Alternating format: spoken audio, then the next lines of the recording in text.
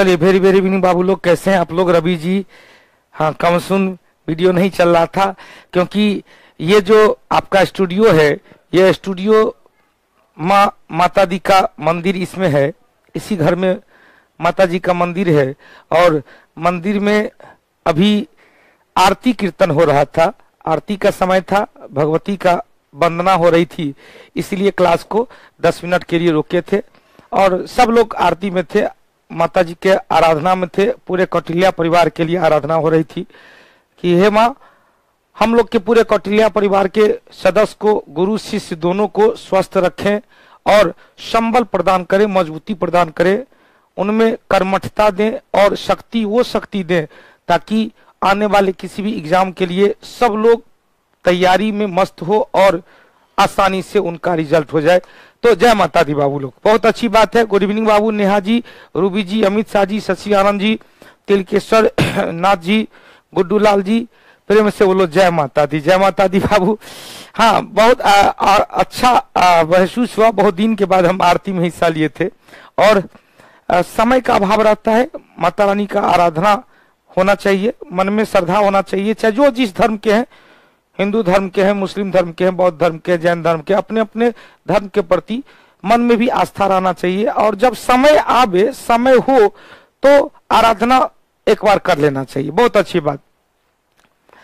चलिए, एक बार आशीर्वाद नहीं मिला। जय माता दी बाबू, सब लोगों को दिल से आशीर्वाद। जय माता दी, सब लोगों को दिल से आशीर्वाद। चलिए स्टार्ट करते हैं। हम बहुत अच्छा टॉपिक था। पिछले क्लास में आज इस टॉपिक को क्लियर करें। मैं अभी फ़ोन किया था तो बोले अभी सर आए हैं। अच्छा मैं अभी फ़ोन किया था तो नहीं अभी सर आ, हो सकता है वो लोग इसी रूम में इसी रूम में माता जी का मंदिर है माता रानी का मंदिर है इसी मंदिर में पूजा अर्चना हो रही थी। चलो बाबू चले बाबू ध्यान से सुनिएगा। अब देखो मौर्जकालीन प्रशासनिक व्यवस्था की चर्चा करते हैं। मौर्जकालीन प्रशासनिक व्यवस्था की चर्चा हो तो पहला पॉइंट बनता है कि मौर्जकालीन प्रशासनिक व्यवस्था के बारे में जानकारी दो चीज़ से होता है। एक तो कौटिल्य की रचना अर्थशास्त्र और दूसरा मेगास्थनीज की रचना इंडिका से। दो पुस्तक से। और तीसरा होता है जो शक शासक रुद्रदामन का, रुद्रदामन प्रथम का जो जूनागढ़ अभिलेख है, जूनागढ़ अभिलेख से भी इसकी जानकारी मिलता है। तो कौटिल्य की रचना अर्थशास्त्र से मेगास्थनीज की रचना, इंडिका से, और रुद्रदामन प्रथम का रचना जूनागढ़ अभिलेख से मौर्यकालीन प्रशासनिक व्यवस्था के बारे में जानकारी मिलता है। हो गया बाबू? अब देखो मौर्य काल में क्या था? तो कार्यपालिका व्यवस्थापिका और न्यायपालिका। अभी वर्तमान के परिदृश्य में चलेंगे तो कार्यपालिका के प्रधान कौन है बाबू? तो राष्ट्रपति हैं। विधायिका के प्रधान कौन है? प्रधानमंत्री है। न्यायपालिका के प्रधान कौन है? सर्वोच्च न्यायालय के मुख्य न्यायाधीश है। लेकिन उस काल में राजा के पास ही कार्यपालिका विधायिका या व्यवस्थापिका एवं न्यायपालिका तीनों का प्रमुख पद होता था। ध्यान से सुनते रहिएगा। मौर्य काल में कार्यपालिका, विधायिका और न्यायपालिका तीनों का पद खुद राजा के पास होते थे। क्लियर? अब क्वेश्चन पूछेगा ध्यान से सुनिएगा। अब अमित कुमार अमित कुमार गुप्ता जी। जी जी, निश्चित रूप से ज्योग्राफी बायोलॉजी का न्यू एडमिशन बुक मिलेगा। प्लीज़ बताइएगा न्यू एडिशन बुक मिलेगा ज्योग्राफी और बायोलॉजी का। बाबू, अभी बुक कहाँ से मिलेगा? आप ही बताइए बुक कहाँ से मिलेगा? अभी तो ऑनलाइन ऑफलाइन क्लास चल नहीं रहा ऑफ़िस तक नहीं खोलने दे रहा है। पंद्रह तारीख से था कि पंद्रह तारीख से कुछ इन्फॉर्मेशन आएगा, लेकिन फिर सरकार के द्वारा इंडिकेशन आया कि नहीं, अभी कोई कोचिंग संस्थान नहीं खुलेगी। तो चलिए, बहुत अच्छी बात है। रोचक बाबू, ध्यान से सुनिएगा। कौटिल्य की रचना अर्थशास्त्र में राजा के सप्तांग सिद्धांत की चर्चा किया गया मतलब राजा के सात सिद्धांत। अब राजा के जो सप्तांग सिद्धांत है, या कौन कौन सा है? तो राजा, जनपद, अमात्य, दुर्ग कोष सैनिक और मित्र। राजा के सप्तांग सिद्धांत में सातों का कभी हालाँकि नाम नहीं पूछता है, लेकिन नाम याद रखने के लिए कि राजा बनने के लिए ध्यान सुनिएगा राजा बनने के लिए क्या क्या होनी चाहिए? तो राजा बनने के लिए सप्तांग सिद्धांत में राजा होनी चाहिए, जनपद होनी चाहिए और अमात अमात मतलब मंत्री होनी चाहिए, दुर्ग मतलब किला होनी चाहिए कोष मतलब पैसा होना चाहिए, सैनिक मतलब सैन्य शक्ति होना चाहिए और उनका मित्र भी होना चाहिए। तो राजा, जनपद, अमात्य, दुर्ग, मित्र, सैनिक और कोष होना चाहिए। कुल कितना बाबू? सात। फिर से एक बार। हाँ बहुत अच्छी बात। क्वेश्चन पूछेगा, राजा के सप्तांग सिद्धांत में कौन कौन आता है? तो राजा आता है, जनपद आता है, अमात्य आता है, दुर्ग आता है, कोष आता है, सैनिक आता है और मित्र आता है। अब क्वेश्चन पूछेगा, केंद्रीय प्रशासन मतलब केंद्र सरकार, केंद्र का प्रशासन कैसे होगा? राज्य का प्रशासन या प्रांतीय प्रशासन कैसे होगा? नगरीय प्रशासन कैसे होगा? तीनों को बांट दिया गया और सबसे प्रशासन की सबसे छोटी इकाई गाँव होती थी। गाँव के प्रधान को ग्रामीण कहा जाता है। ध्यान से सुनिएगा बहुत अच्छा। अभी वर्तमान में चलेंगे तो अनुच्छेद पचास में कहा गया, कार्यपालिका को न्यायपालिका से अलग रखा गया। अनुच्छेद पचास में कार्यपालिका को न्यायपालिका से अलग रखा गया। फिफ्टी फिफ्टी कर दिया गया। अब देखिए मौर्य काल में प्रशासनिक व्यवस्था में सबसे ऊँचा पद राजा का होता था। सबसे ऊँचा पद राजा का होता था। उन्हें सहायता देने के लिए कई प्रकार के मंत्री होते थे। मौर्य काल में अशोक के शासन काल में विभिन्न मंत्री परिषद के अतिरिक्त एक और मज़बूत ब्यूरोक्रेट था। क्या था बाबू? धर्मेंद्र बाबू। ब्यूरोक्रेट मतलब नौकरशाही व्यवस्था। नौकरशाही व्यवस्था मतलब आई एस आई जो अभी है, वह क्या ब्यूरोक्रेट है। नौकरशाही व्यवस्था का उदाहरण है। मतलब सिविल सेवक लोग बहुत ज़्यादा थे, मज़बूत। अब देखो, एक मज़बूत नौकरशाही ब्यूरोक्रेट व्यवस्था का प्रमाण मिलता है, जिसे दो भाग बांटा गया, तीर्थ महामात्र और दूसरा अध्यक्ष। तीर्थ मतलब ऊँचे स्तर का पदाधिकारी को, तीर्थ कहा गया, और नीचे स्तर के पदाधिकारी को।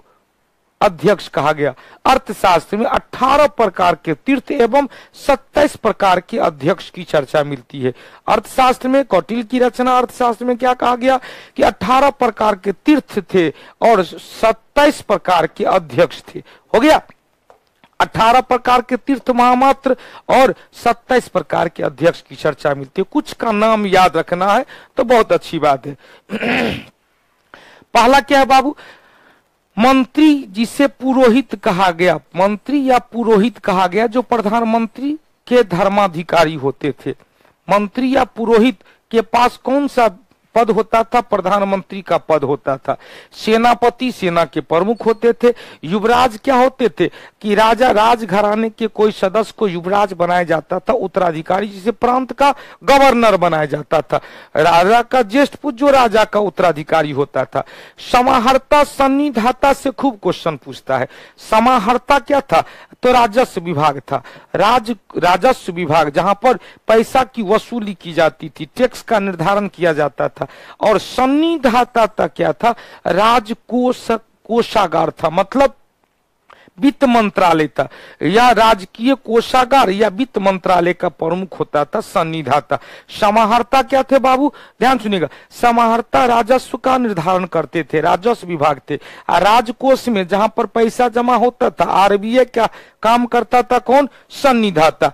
जो वित्त मंत्रालय के नियंत्रण में, अब देखो, नायक क्या था? तो नायक युद्ध भूमि में सेना का नेतृत्व करता था, नायक। नाम से स्पष्ट है, इसका मतलब है, नायक सेनापति से नीचे का पड़ता, सेनापति थल सेना जल सेना और नौसेना, सबका रहता था प्रधान। थल सेना नौसेना नौसेना को जल सेना कहते हैं। उस समय वायुसेना तो था नहीं, लेकिन सेनापति के नीचे वाले पोस्ट को नायक कहते थे, जो युद्ध के मैदान में सैनिकों का नेतृत्व करते थे। युद्ध के मैदान में सैनिकों का नेतृत्व। आठ, अब देखो, प्रशस्ता क्या था? राजा जो कुछ संदेश देता था, राजकीय अभिलेख जो होता था, राजकीय अभिलेख को, राजकीय आदेश को लिपिबद्ध करने वाला पदाधिकारी प्रशस्ता कहलाता था। राजकीय आदेश को लिपिबद्ध करने वाला पदाधिकारी प्रशस्ता कहलाता था। आठवीं क्या था? जंगल विभाग था, वन विभाग था, पन्नाध्यक्ष क्या था? वाणिज्यिक अध्यक्ष। वाणिज्य मतलब कॉमर्शियल का प्रधान होता था। सीताध्यक्ष राजकीय भूमिका प्रधान होते थे। लक्षणाध्यक्ष लक्षणाध्यक्ष, जो छापा खाना है, जहाँ मुद्रा की छपाई होती थी छापे खाना का पद प्रधान। गणिका अध्यक्ष वैश्याओं के अधिकारी मतलब उस काल में वैश्यावृत्ति भी चल रही थी और इस पर नियंत्रण स्थापित करने के लिए गणिका अध्यक्ष होता था। फिर से सुनिएगा, बड़ी महत्वपूर्ण चीज़ सब है, ध्यान से सुनिएगा, याद हो जाएगा। पहला क्या बताए? मंत्री या पुरोहित प्रधानमंत्री होते थे। पुरोहित प्रधानमंत्री राजा को सलाह देते थे। क्वेश्चन पूछेगा, धनानंद के पुरोहित, धनानंद के मंत्री कौन थे? चाणक्य थे, सलाहकार पद पर थे, जो राजा के बाद सबसे महत्वपूर्ण पद होता था। क्वेश्चन पूछेगा सेनापति सेना का प्रमुख होता था, सेनापति सेना का प्रमुख, लेकिन युद्ध के मैदान में सेना का प्रमुख नायक होते थे। युद्ध के मैदान में सेना का प्रमुख नायक होते थे। बहुत अच्छी बात है। वायुसेना का गठन 1932 में किया गया। 8 अक्टूबर को याद रखेंगे कि 16 अगस्त या 8 अगस्त 1932 को 8 अगस्त 16 आठ 1932 16 अगस्त 1932 को क्रिमिनल अवार्ड आया और आठ अक्टूबर 1932 को वायुसेना का गठन किया गया तो उससे पहले वायुसेना तो था नहीं, उससे पहले दो ही सेना था, जल सेना था और थल सेना था। तो यहाँ पर भी जल सेना है और थल सेना है। युवराज राजा का ज्येष्ठ पुत्र होता था, जो राजा के बाद उनका पद होता था। समाहर्ता क्या था? राजस्व विभाग के प्रधान और सन्निधाता क्या था? राजकोष का प्रधान होता था। युद्ध भूमिका में सेना का नायक नायक करते थे। राजकीय आदेश को लिपिबद्ध करता था कौन? सा प्रशस्ता वन विभाग का प्रधान आठविक वाणिज्यिक अध्यक्ष कौन था? तो वाणिज्यिक अध्यक्ष, पन्याध्यक्ष, वाणिज्यिक अध्यक्ष, पन्याध्यक्ष।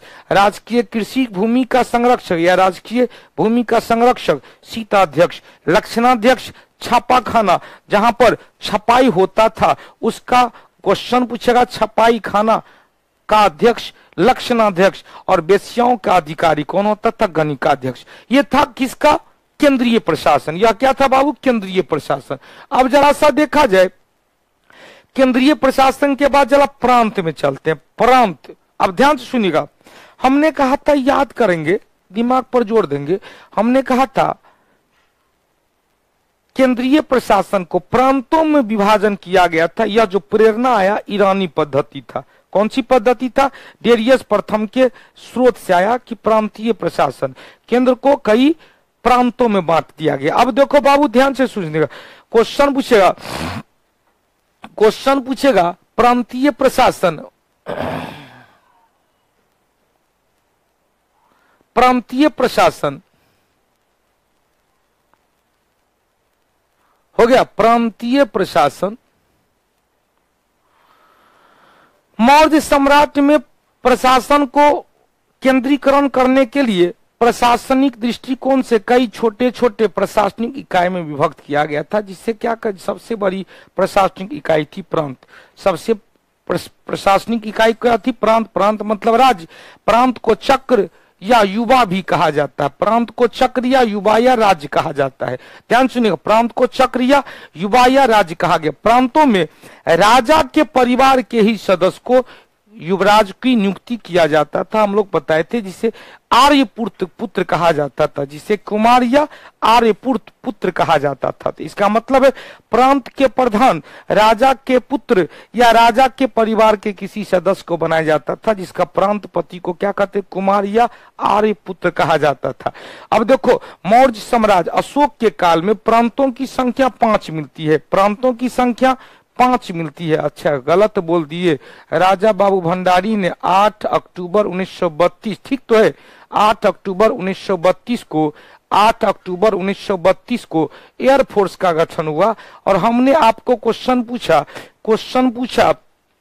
हमने आपको एक और क्वेश्चन 1932 से जोड़ दिया कि criminal award criminal award question पूछेगा कैमिनल अवार्ड की घोषणा कब किया गया? तो 1932 में। कब किया गया? डेट बताएँ। डेट याद करने के लिए हमने आपको ट्रिक दिया था। कैमिनल अवार्ड की घोषणा कब किया गया? तो 16 अगस्त 1932 16 अगस्त 1932 को कम्युनल अवार्ड की घोषणा किया गया। हो गया? अब देखो बाबू, ध्यान से सुनिएगा।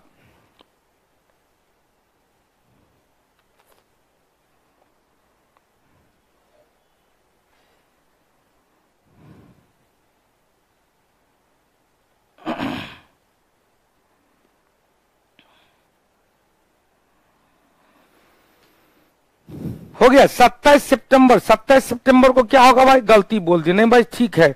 अब 27 सितंबर 1932 को आप लोग फिर से एक बार गुरुजी गुड्डू लाल जी ध्यान से सुनिएगा। क्वेश्चन पूछेगा बउआ लोग, सब लोग ध्यान से सुनिएगा। क्वेश्चन पूछेगा कि कम्युनल अवार्ड की घोषणा कब किया गया? सांप्रदायिक निर्णय की घोषणा कब किया गया? तो 16 अगस्त 1932 लिख देते हैं, ध्यान से सुनिएगा। सांप्रदायिक पंचायत सांप्रदायिक पंचायत जिसे कहते कम्युनल कम्युनल अवार्ड की घोषणा कब किया गया? 16 अगस्त 1932 16 अगस्त 1932 याद करने के लिए 16 आठ बत्तीस। सोलह आठ बत्तीस। और आठ अक्टूबर, ध्यान सुनिएगा, आठ अक्टूबर 1932 को एयरफोर्स एयरफोर्स आठ अक्टूबर 1932 यह दोनों याद रखिएगा। एयरफोर्स 8 अक्टूबर 1932 हो गया। 8 अक्टूबर 1932 बाबू क्लियर हो गया? फिर से सुनिएगा कम्युनल अवार्ड सांप्रदायिक पंचायत 16 अगस्त 1932 को 16 आठ 1932 को एयरफोर्स 8 अक्टूबर 1932 को किया गया। इंडियन एयरफोर्स 8 अक्टूबर 1932 को किया गया। साहिर बाबू क्लियर हो गया? राकेश बाबू क्लियर हो गया? सब लोग ठीक है? चलो, बहुत अच्छी बात है। आगे बढ़ते हैं स्पीड में जरा टॉपिक को भी बेटा निकालना है।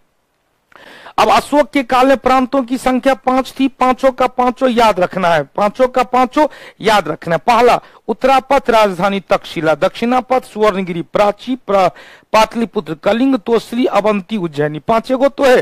पाँच में पाँचों का पाँचों याद रखना है।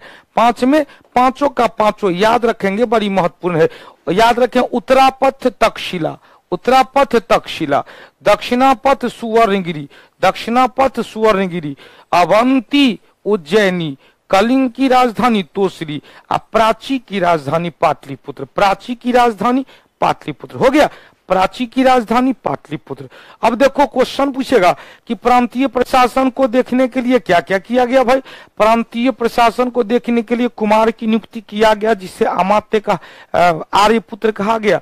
अब नगरीय प्रशासन के बारे में जानकारी मेगास्थनीज की रचना इंडिका से। नगरीय प्रशासन के बारे में जानकारी मेगास्थनीज की रचना इंडिका से।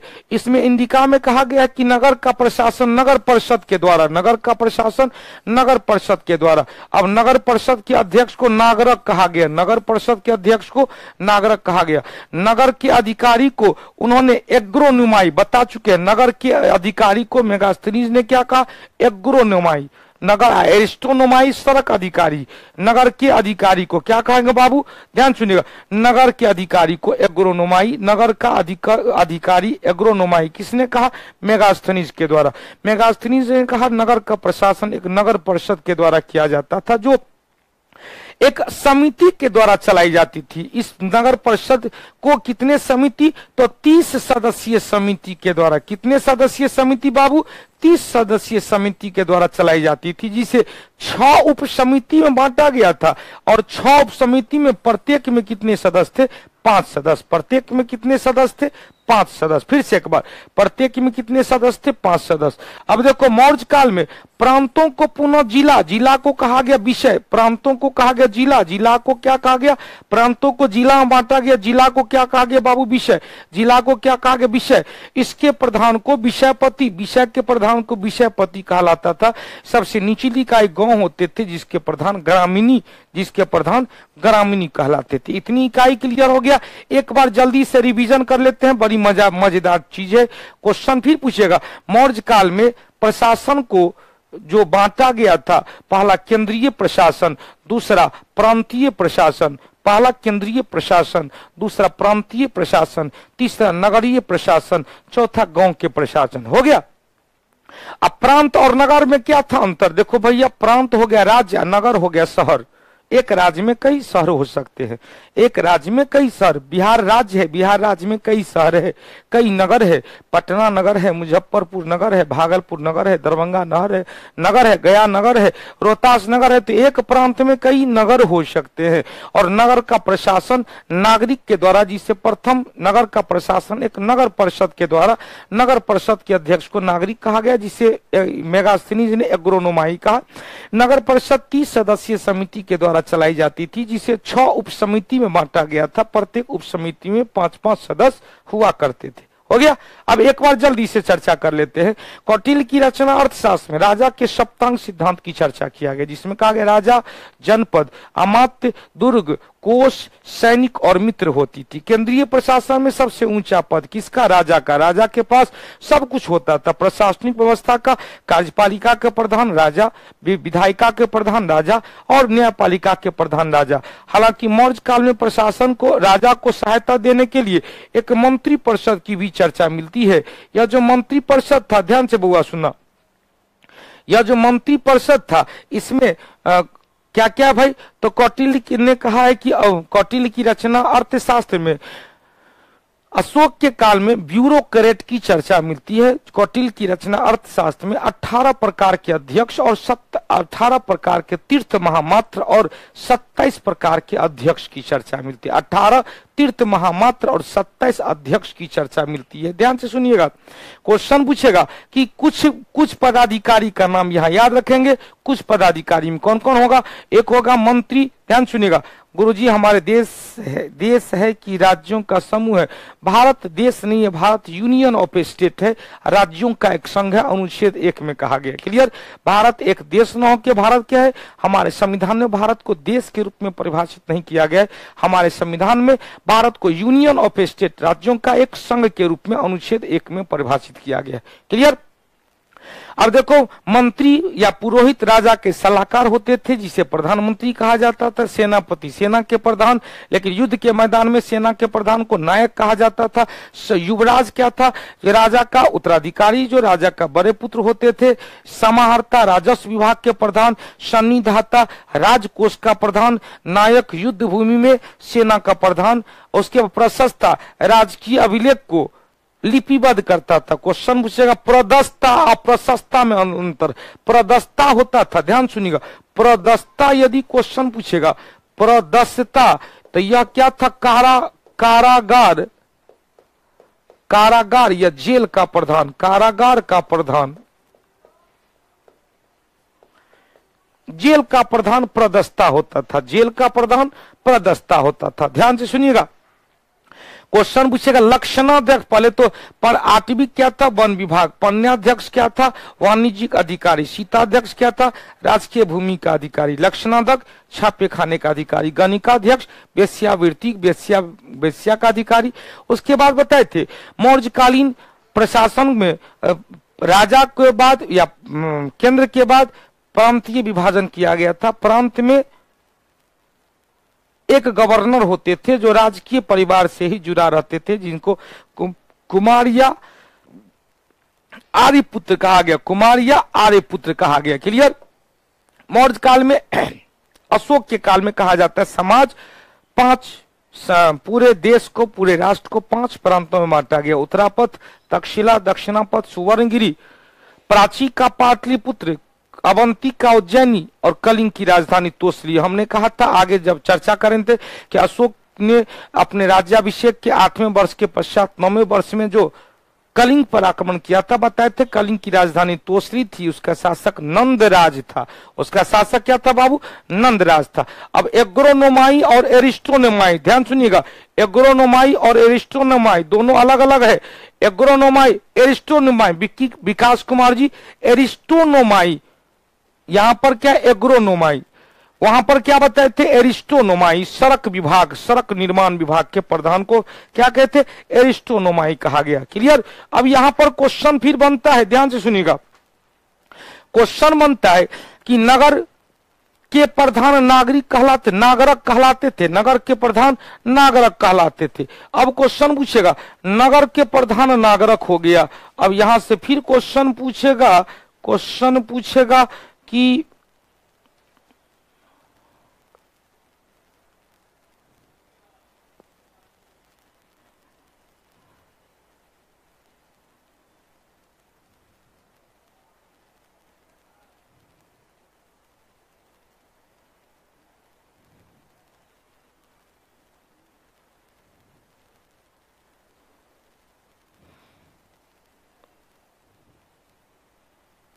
चल, एक मिनट रुक जाएँगे। एक चीज़ एक चीज़। एरिस्टोनोमाई और एग्रोनोमाई में कुछ कंफ्यूजन है। एरिस्टो हाँ प्रशस्ता उल्टा हो गया। ध्यान से सुनिएगा। चलिए एक मिनट एक मिनट एक मिनट एक मिनट एक मिनट। बउआ लोग, एक मिनट रुक जाइएगा। बड़ी सुंदर चीज़ है।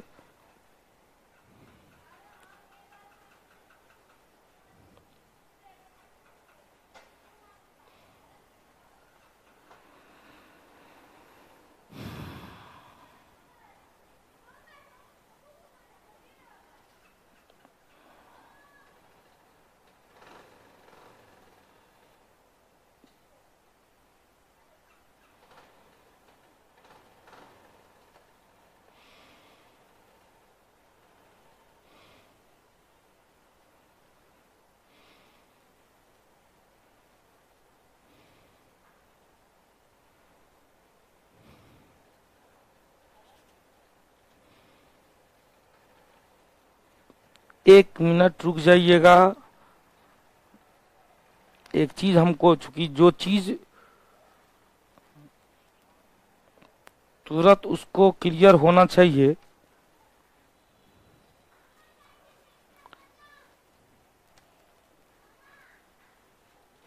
क्योंकि एक जगह लिखा हुआ था, अपोजिट।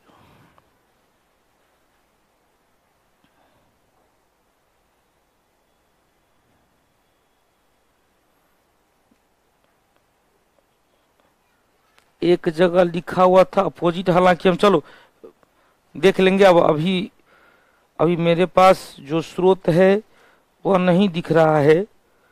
हम बता देंगे अगले क्लास में,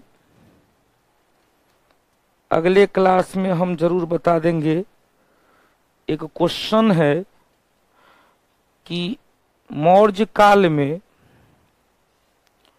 मौर्य काल में नगर प्रशासन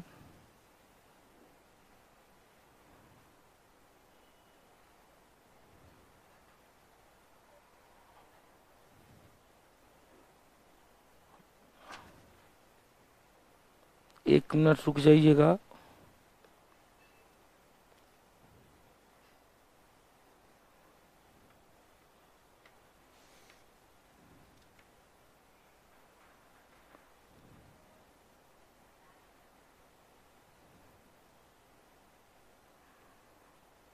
चलिए बहुत अच्छा बहुत अच्छा बहुत अच्छा एक चीज़ मिल देखिए, मिल गया, अब कंफ्यूजन दूर हो गया।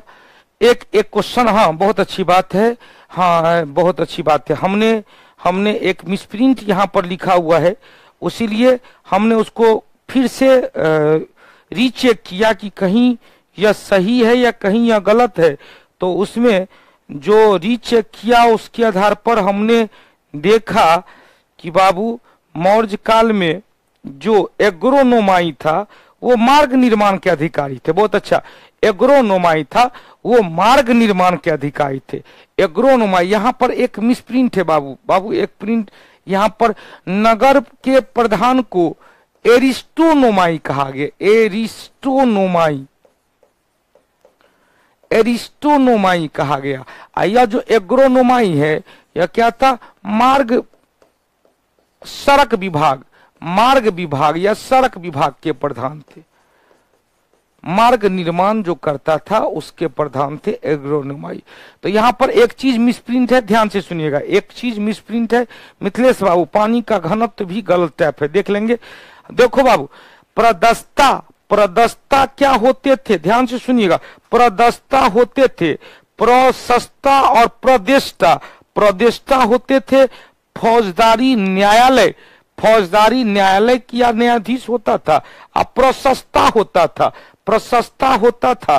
राजकीय आलेख को लिपिबद्ध करना, प्रशस्ता होता था, राजकीय आलेख को लिपिबद्ध करना। ठीक तो है इसमें, प्रदस्ता तो ठीक है, यहाँ पर प्रशस्ता राजकीय आदेश को लिपिबद्ध करना है। बिल्कुल सही है, प्रदस्ता क्या है बाबू?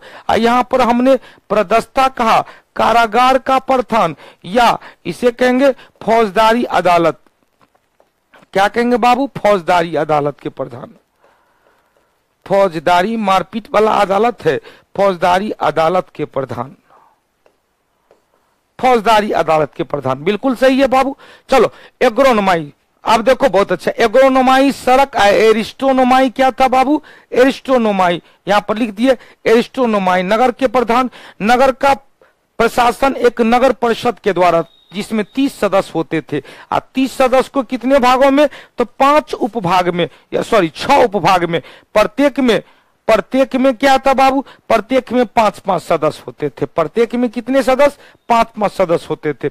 अब प्रांत को जिला में बांटा गया जिला को विषय कहा गया विषय के प्रधान को। विषयपति कहते हैं प्रशासन की सबसे निचली इकाई गाँव गाँव के प्रधान को ग्रामनी कहा जाता है। अब देखो इसका वर्गीकरण कैसे था? ध्यान से सुनिएगा। इसका वर्गीकरण कैसे था? जैसे अभी अभी का जो वर्गीकरण है उसी से मिल, मिलता जुलता है। बड़ी सुंदर स्केचिंग की है हमने ध्यान से सुनिएगा। देश को क्या कहा गया? साम्राज्य कहा गया। दिखाई दे रहा है आप लोगों को? दिखाई दे रहा है, जल्दी से बताएँगे। साउंड बिल्कुल सही है, मनीष कुमार जी, रंजन कुमार जी, सिकंदर महान। हो गया? बुक दिखाई दे रहा है यह जल्दी से बोलो, दिखाई दे रहा है। देश को साम्राज्य कहा गया। उसके प्रधान राजा होते थे। साम्राज्य के प्रधान राजा होते थे। साम्राज्य के प्रधान कौन होते थे? राजा होते थे। ध्यान से सुनिएगा। साम्राज्य के प्रधान कौन होते थे? राजा होते थे। साम्राज्य को बांटा गया प्रांत में। प्रांत प्रांत को क्या कहेंगे? राज्य कहेंगे। प्रांत को क्या कहेंगे? राज्य कहेंगे। प्रांत को क्या कहेंगे? जल्दी से बोलो। प्रांत को क्या कहेंगे? राज्य कहेंगे। राज्य को ही हम लोग कहते सूबा या चक्र या प्रांत। इसके प्रधान को कुमार या अमत्य या आर्य कुमार कुमार या आर्य पुत्र कुमार या क्या कहेंगे? आर्य पुत्र कहा जाता है। या जिसे प्रांतपति भी कहते हैं। क्या कहते हैं? प्रांतपति। अब देखो, राज्य के नीचे कमिश्नर कमिश्नर को क्या कहें? मंडलम। कमिश्नर को क्या कहें? मंडलम। मंडलम के प्रधान को प्रदेष्टा कहा जाता है। प्रदेष्टा या प्रादर्शिक। प्रदेष्टा या प्रादर्शिक कहा जाता है। प्रदेष्टा या प्रादर्शिक कहा जाएगा। ध्यान से सुनिएगा। अब क्वेश्चन पूछेगा अब बाबू, ध्यान से सुनना। क्वेश्चन अभी भी देश को देश कहा गया भारत को कई राज्य में बांटा गया कई प्रांत में बांटा गया कई प्रांत को कई राज्य को कमिश्नरी में बांटा गया प्रमंडल में बांटा गया कई प्रमंडल को फिर जिला में बांटा गया। प्रमंडल के अधीन क्या है भाई? जिला है। जिला को क्या कहेंगे? विषय कहेंगे। विषय के प्रधान विषयपति। फिर जिला को अनुमंडल में बांटा गया। जिला को अभी भी जिला को क्या सब डिविजन में बांटा जा, बांटा जाता है। अनुमंडल। अनुमंडल को क्या कहेंगे? स्थानीय कहेंगे। अनुमंडल में लगभग आठ सौ गाँव का समूह आया। इसका स्थानिक प्रधान अनुमंडल के कौन हुए? स्थानिक हुए। अनुमंडल के अधीन प्रखंड हुए। प्रखंड को संग्रहण कहेंगे जिसमें दस गाँव का समूह इसके प्रधान को गोप कहा जाता है और गाँव को ग्राम कहेंगे। ग्राम के प्रधान को ग्रामीणी कहा जाता है। ग्राम के प्रधान को ग्रामीणी कहा जाता है। तो जल्दी से एक पॉइंट इसको देखेंगे। यह जो प्रांतीय विभाजन था, कैसे विभाजन था? तो ध्यान से सुनिएगा। देश देश को कहेंगे साम्राज्य। साम्राज्य का विघा विभाजन राज्य में, राज्य को क्या कहेंगे? प्रांत। इसका विभाजन कमिश्नरी में। इसका विभाजन किसमें कमिश्नरी में। अब क्वेश्चन पूछेगा, इसका विभाजन कमिश्नरी में था तो कमिश्नरी को क्या कहते? मंडलम। कमिश्नरी को क्या कहते? मंडलम। कमिश्नरी को फिर जिला में, जिला को क्या कहते हैं, विषय? जिला को बांटा गया अनुमंडल में। अनुमंडल में, अनुमंडल को क्या कहते हैं? स्थानीय। अनुमंडल को बांटा गया प्रांत में। प्रांत के लिए टर्म क्या आया है? संग्रहण। और फिर प्रांत को बांटा गया गाँव में। गाँव के लिए कहा क्या आया है? ग्राम आया है। गाँव के लिए क्या है? ग्राम आया है। फिर से सुनिएगा। महावीर कुमार शाह जी, सिकंदर का महान मरुत सिकंदर महान की मृत्यु कब हुई थी? तीन सौ तेईस ईसी पूर्व में। चलो, बेबीलोन में, अफ्रीका में। अब यहाँ पर एक चीज़ ध्यान से सुनिएगा, बड़ी सुंदर क्वेश्चन है।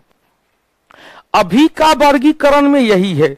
अभी का भी वर्गीकरण यही है। ध्यान सुनिएगा, देश को, राज्य में, राज्य को, कमिश्नरी में, कमिश्नरी को जिला में, जिला को अनुमंडल में, अनुमंडल को sorry sorry sorry sorry sorry प्रखंड। या क्या है भाई? प्रखंड है। ब्लॉक है, ब्लॉक को किसमें बाबू? तो ब्लॉक को गाँव में। और गाँव को फिर बांटा गया वार्ड में। गाँव को बांटा गया वार्ड में। अब देखो गाँव के प्रधान, अब इसका प्रधान देखा जाए तो क्वेश्चन पूछेगा किसके प्रधान कौन है? तो देश या साम्राज्य या प्रांत राजा के, इसके अध्यक्ष कौन? राजा प्रांत के प्रधान प्रांतपति। जिसे क्या कहते हैं? कुमार भी कहते हैं। या आर्य पुत्र कहा जाता है। अशोक के काल में प्रांतों की संख्या कितनी थी बाबू? पाँच थी। उत्तरापथ तक्षशिला दक्षिणापथ सुवर्णगिरी, प्राची पाटलिपुत्र। प्राची क्या था बाबू? प्राची पाटलिपुत्र। उसके बाद अवंती, उज्जैनी और कलिंग की राजधानी तोसली। मंडलम कमिश्नरी होते थे। आ कमिश्नरी के प्रधान को क्या कहा था? प्रादर्शिक प्रादर्शिक। कमिश्नरी के प्रधान को प्रादर्शिक कहते हैं। विषय के प्रधान को, जिला के प्रधान को विषयपति। अनुमंडल के प्रधान को स्थानिक,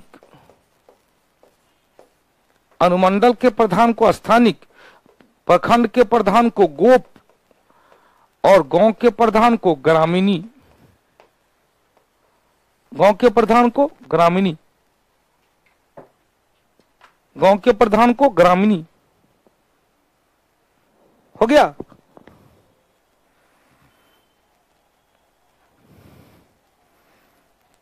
चलिए एक ध्यान से सुनिएगा बाबू।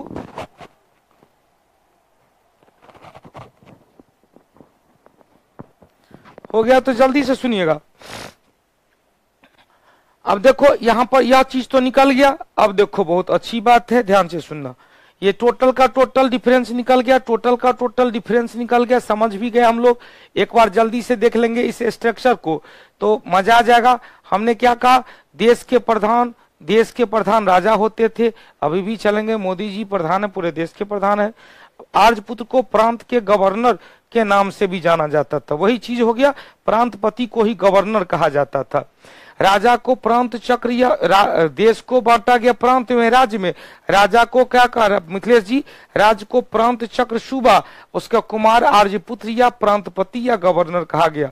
राज्य को बांटा गया कमिश्नरी में। कमिश्नरी को मंडलम प्रादर्शी कहा गया, प्रदेष्टा कहा गया। कमिश्नरी को जिला में विषय, विषयपति। जिला को फिर किसमें अनुमंडल में, स्थानिक में, स्थानीय, प्रधान स्थानिक प्रखंड को संग्रहण। संग्रहण को क्या कहेंगे? गोप। और गाँव को ग्राम, गाँव, ग्राम को क्या कहें? ग्रामीण। हो गया? अब आगे बढ़ते हैं।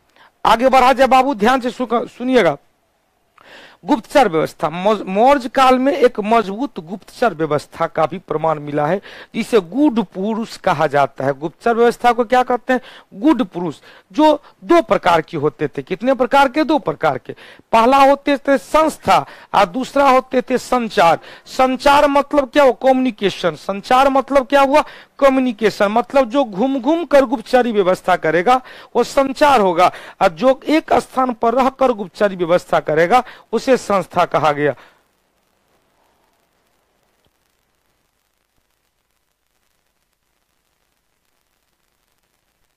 अच्छी बात है तो संस्था और संचार क्लियर हो गया संस्था और संचार। अब देखो बाबू गुप्तचर के बाद न्याय प्रशासन की चर्चा चलते हैं।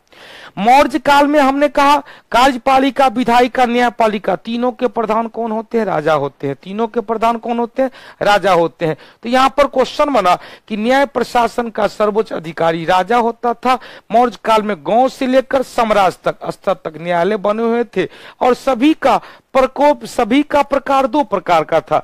एक था बाबू धर्म स्थानीय न्यायालय और एक था कंटक शोधन न्यायालय।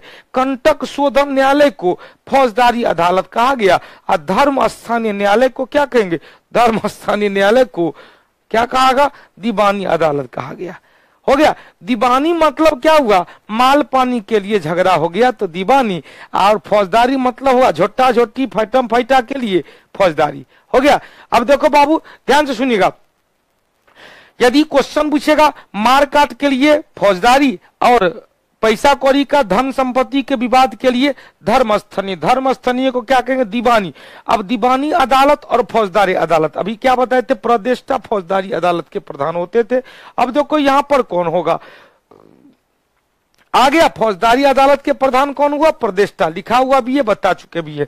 दीवानी अदालत के प्रधान व्यवहारिक हुआ करते थे। समाज में चलते हैं मौर्य काल में समाज में वर्णाश्रम व्यवस्था पर आधारित था। वर्णाश्रम व्यवस्था का मतलब हुआ वर्ण आधारित, जिसमें जिसमें ब्राह्मण वर्ग का सबसे ऊँचा स्थान था।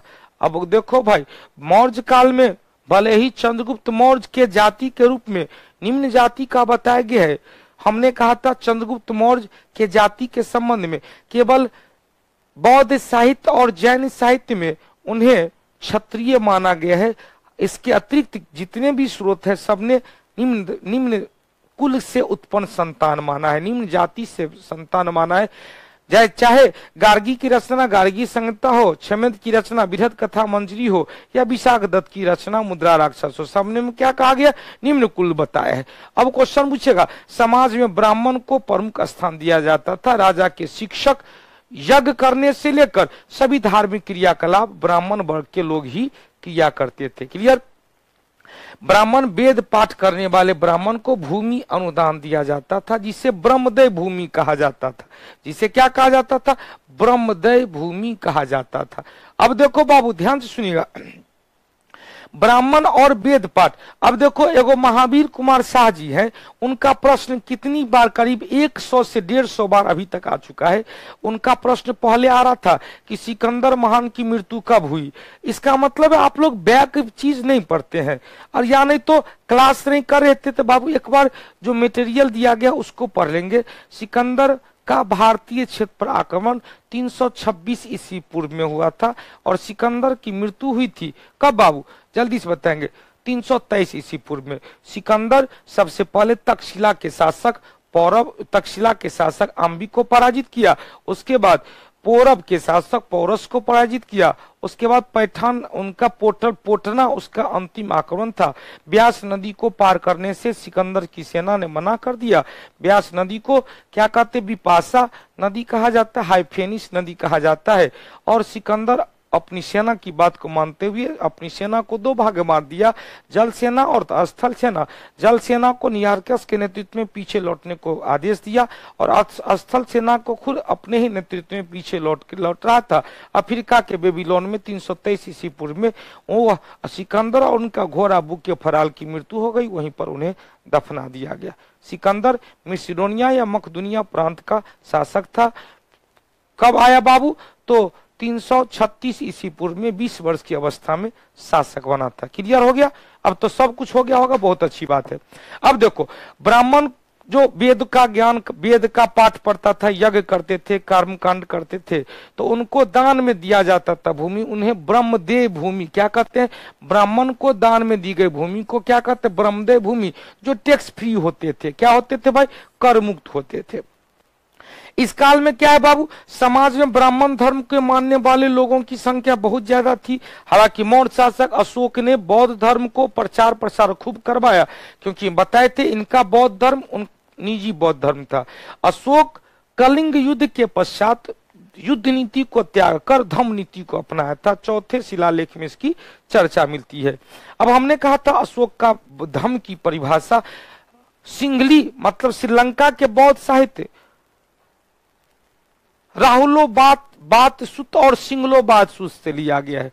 अब देखो, उनका जो बौद्ध धर्म था, उनका जो धर्म था, उनका व्यक्तिगत धर्म था। अशोक को बौद्ध धर्म अपनाने की प्रेरणा भतीजा निग्रोध के प्रवचन से हुआ, जबकि अशोक को बौद्ध धर्म में दीक्षा कौन दिया? उपगुप्त के द्वारा दिया गया। क्लियर विकास कुमार बिक्की। धन्यवाद बाबू। अब देखो, इस काल में ब्राह्मण धर्म को मानने वाले लोग बहुत ज़्यादा थे, लेकिन मौर्य शासक अशोक ने बौद्ध धर्म का प्रचार प्रसार भी किया था।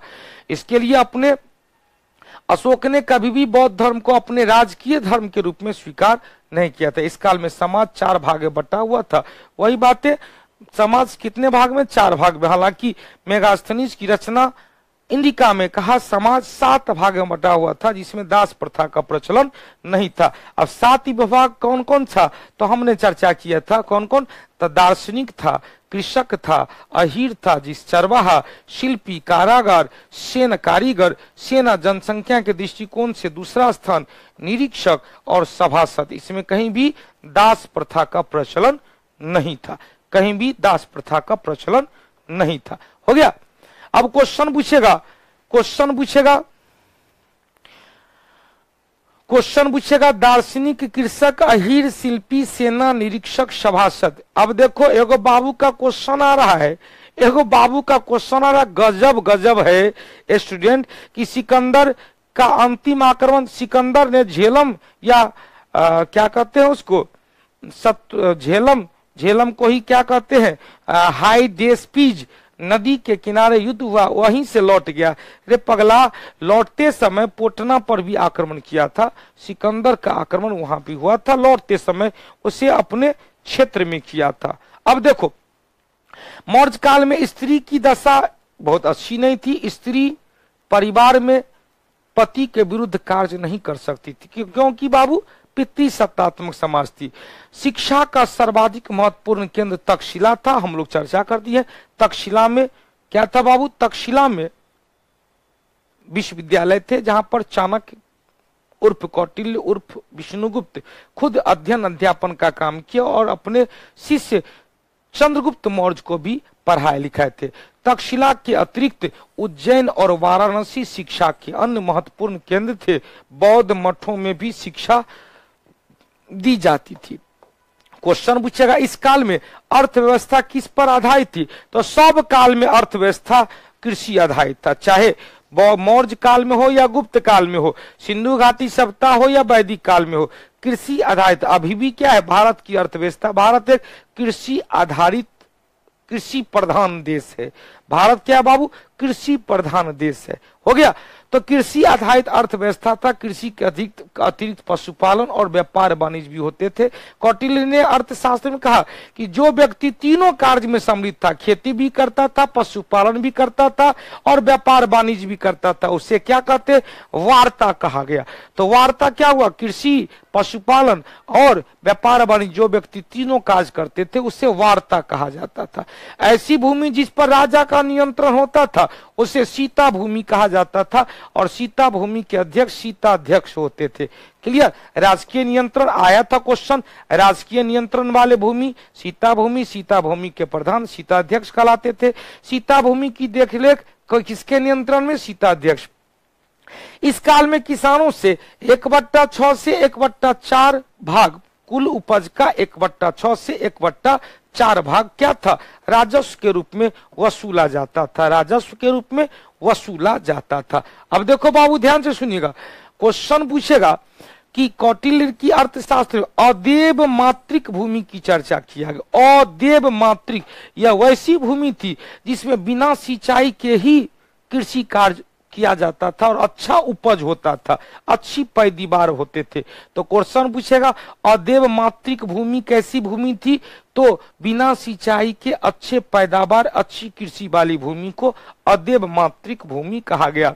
इस काल में सरकारी, हालाँकि इस काल में सिंचाई की भी व्यवस्था किया गया था सरकारी खर्च पर। हमने कहा था, चंद्रगुप्त मौर्य ने गुजरात के सौराष्ट्र प्रांत में सुदर्शन झील का निर्माण करवाया था और उसके निर्माण की जिम्मेवारी सौराष्ट्र प्रांत के गवर्नर पुष्प गुप्त वैश्य को दिया गया था, जिसकी जानकारी मिलता है। देखो बाबू, ध्यान से सुनिएगा।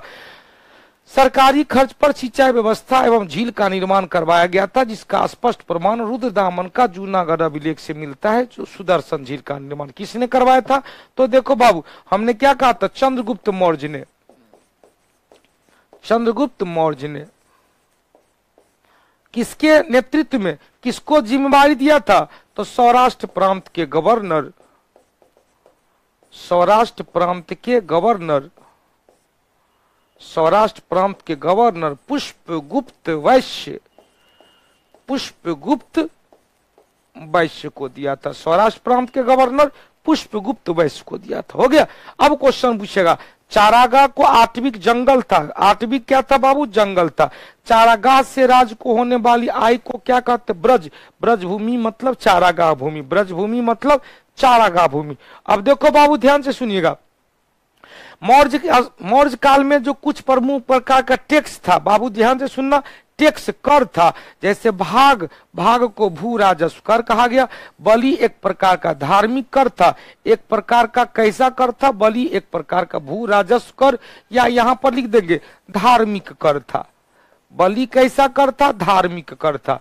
याद करेंगे अशोक ने अपने राज्याभिषेक के दसवें वर्ष में बोध गया की यात्रा किया बीसवें वर्ष में लुम्बनी की यात्रा किया और लुम्बनी में कनक मुनि के स्तूप को दोगुना करवाया था। धार्मिक कर बलि में छूट दिया था। धार्मिक कर बलि में क्या किया था? छूट दिया था।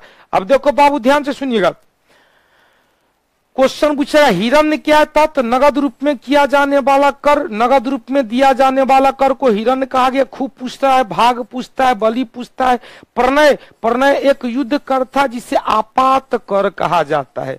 प्रणय क्या था? युद्ध कर जिसे आपात कर, इमरजेंसी कर भी कहा जाता है। बड़ी महत्वपूर्ण क्वेश्चन था।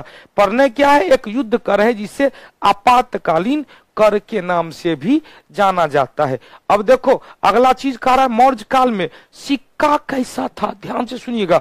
हमने कहा था, पंच मार्ग सिक्का, जिसे आहत सिक्का कहेंगे, लेख विहीन सिक्का कहेंगे, निन्यानवे प्रतिशत चांदी, एक प्रतिशत तांबा, जो महाजनपद काल में प्रारंभ हुआ और मौर्य काल तक चलता रहा। मौर्य काल तक चलता रहा। आहत सिक्के का प्रचलन था। आहत सिक्के को क्या कहेंगे? पंचमार्ग सिक्का कहा गया। पंचमार्क सिक्का कहा गया, या इसे ही क्या कहते हैं? लेख विहीन सिक्का कहा गया। अब देखो, इस काल में हालाँकि तांबे के सिक्के को काकनी और माशक भी कहा गया। बड़ी सुंदर चीज़ है। देखो बा, आहत सिक्का, ध्यान सुनिएगा। आहत सिक्का किस प्रकार का सिक्का था? तो आहत सिक्का हो गया निन्यानवे प्रतिशत चांदी। एक प्रतिशत तांबा, लेकिन केवल तांबे के सिक्का को काकनी या मासक, काकनी या मासक कहा गया। इस काल में व्यापार वाणिज्य दोनों बहुत अच्छा था, स्थल मार्ग और जल मार्ग दोनों से होती थी। अब देखो, मौर्य काल में उद्योग में सबसे प्रमुख था सूती वस्त्र उद्योग। क्वेश्चन बताए थे कि बौद्ध धर्म को प्राप्त बौद्ध धर्म का प्रथम उपासक बनारस के श्रेष्ठी यश थे। तो व्यापारी के प्रधान को क्या कहेंगे? श्रेष्ठी। यश आया अब देखो बउआ इस काल में सबसे लंबा सड़क सड़क निर्माण के पदाधिकारी को क्या कहते एक गुरुनोमाई अब देखो, सबसे लंबा सड़क था तक्षशिला से लेकर बंगाल तक। मतलब तक्षशिला कहा? उत्तर पश्चिम में और बंगाल कहा? पूरब में। तो तक्षशिला से लेकर बंगाल तक। मौर्य काल में लोक कला और राजकीय कला दोनों का प्रमाण मिलता है। लोक कला का मतलब हो गया कि जो आर्किटेक्ट जो व्यक्ति विशेष था राजकीय कला का मतलब हो गया जो राज विशेष था। राज विशेष राजकीय कला के अंतर्गत किस किस का? तो अभिलेख का प्रमाण मिलता है, शिलालेख का प्रमाण मिलता है, गुफा लेख का प्रमाण मिलता है। अब देखो, राजकीय कला के तहत विभिन्न प्रकार का शिलालेख, अभिलेख और गुफा लेख का निर्माण करवाया गया। अशोक के काल में, जबकि लोक कला में विभिन्न प्रकार के मूर्ति का निर्माण करवाया गया। क्वेश्चन पूछेगा लोक कला का सबसे अच्छा नमूना, सबसे अच्छा प्रमाण कहाँ से मिलता है? तो पटना के दीदारगंज दीदारगंज है एक मोहल्ला है, पटना सिटी से आगे जाएँगे फतुआ से पहले तो दीदारगंज। दीदारगंज में जो उत्खनन हुआ, खुदाई हुआ तो एक बहुत लंबे यक्ष एवं यक्षिणी का मूर्ति मिला है। यक्ष एवं यक्षिणी का मूर्ति मिला है जो वर्तमान में पटना म्यूज़ियम में स्थित है। वर्तमान में पटना म्यूज़ियम में स्थित है। अब देखो ध्यान से सुनिएगा। इस काल में दीदारगंज से प्राप्त हुआ यक्ष एवं यक्ष की मूर्ति जो पटना संग्रहालय में पटना म्यूज़ियम में स्थित है। मौर्य काल में राजा का महल लकड़ी का बना होता था। लकड़ी का बड़ा बड़ा पिलर। राजा कमल लकड़ी का बना होता था। गुप्त काल में फाहियान आया तीन सौ निन्यानवे ईस्वी से चार सौ चौदह ईस्वी तक। रहा था बाप रे बाप कहा कि भैया ऐसा ऐसा पिलर था कि मनुष्य तो नहीं बनाया होगा। कोई दैवीय चीज़ आकर बना दिया होगा। देखो, मौर्य काल में राजा कमल लकड़ी का बना होता था, इस महल के बारे में भाईजान ने कहा कि यह महल मानव के द्वारा निर्मित नहीं, बल्कि देवताओं ने मतलब फाइयान ने कहा कि विश्वकर्मा भगवान आए होंगे और विश्वकर्मा भगवान भाग बलि और हिरण्य टैक्स हर्षवर्धन के टाइम भी चलता था। चलिए, बहुत अच्छा। बताएँगे भाग बलि और हिरण यह हिरण नगद कर था, भाग था, भूमि कर, जो एक बट्टा छ से एक बट्टा चार, अब बलि था, एक प्रकार का धार्मिक कर था, जो हर्षवर्धन के काल में भी चलता रहा। अब देखो बाबू, ध्यान से सुनिएगा। हमने कहा, यूनानी लेखक एरियन एरियन ने क्या कहा बाबू, इस महल की तुलना मतलब मौर्यकालीन महल की तुलना सूसा एवं एक बताना यह यूरोपीय महल है। सूसा एवं यूरोपीय क्षेत्र है के महल से किया है, जो ईसाई धर्म का, चर्च का महल होता है। तो ध्यान सुनिएगा, क्वेश्चन पूछेगा कि ईसाई धर्म का सूसा और एक बताना महल से तुलना किया है। मौर्य काल में, अशोक के शासन काल में राजकीय कला का सर्वाधिक विकास हुआ। राजकीय कला का सर्वाधिक विकास हुआ। अब देखो बाबू, ध्यान से सुनिएगा। क्वेश्चन पूछेगा कि अशोक के चौदह शिलालेख, अब अंतिम टॉपिक यही है, अशोक के चौदह शिलालेख। आप लोग पढ़ लीजिएगा एक बार। लकड़ी का?